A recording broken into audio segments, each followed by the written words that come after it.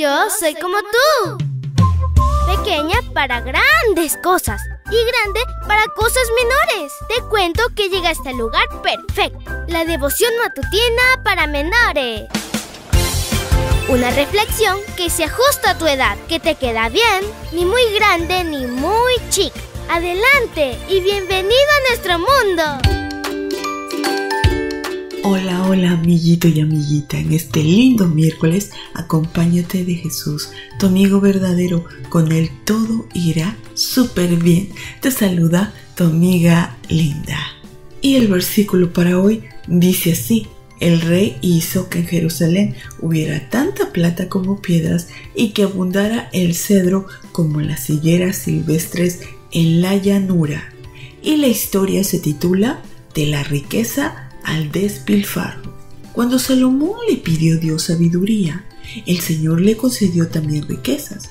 No hay nada erróneo con tenerlas, sobre todo cuando se obtienen legítimamente. Cuando reconoces a Dios como el dador y lo honras con los diezmos y las ofrendas, y cuando compartes tus bendiciones con los necesitados, sin embargo, la riqueza puede volverse un problema cuando solo vives para obtenerla. Un proverbio dice, la riqueza es como el agua salada del mar, entre más la bebes, más se te produce.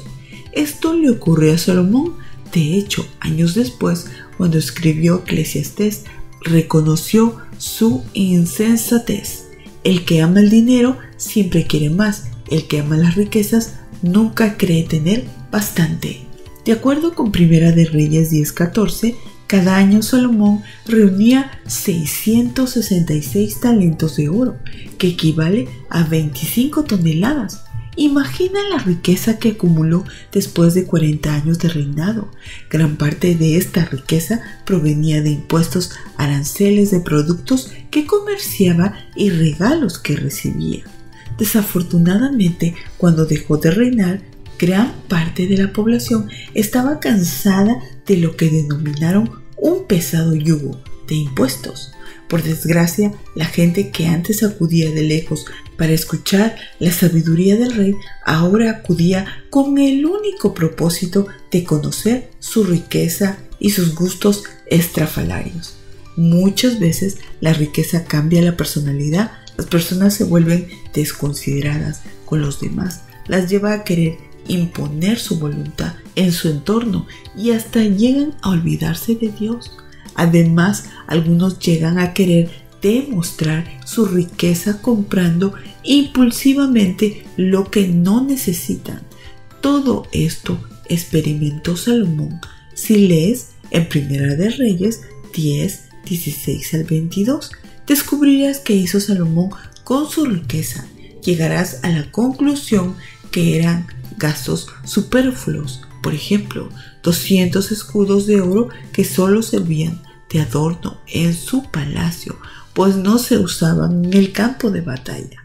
Salomón se mandó construir un trono único. Ningún otro rey tenía un trono con esas características.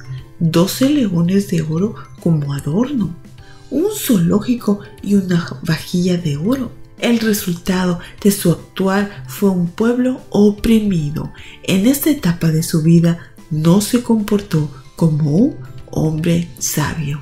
Padre nuestro que estás en las alturas de los cielos, gracias por este hermoso día.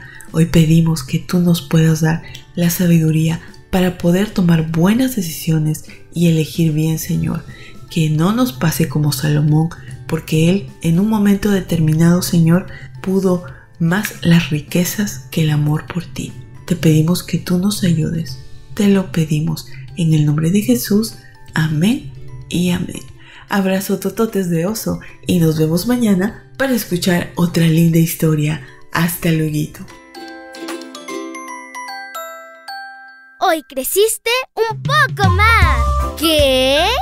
Porque crecer en Cristo es mejor. La matutina de menores llegó por el tiempo y dedicación de Canaan Seventh Day Adventist Shores and Dear Ministry.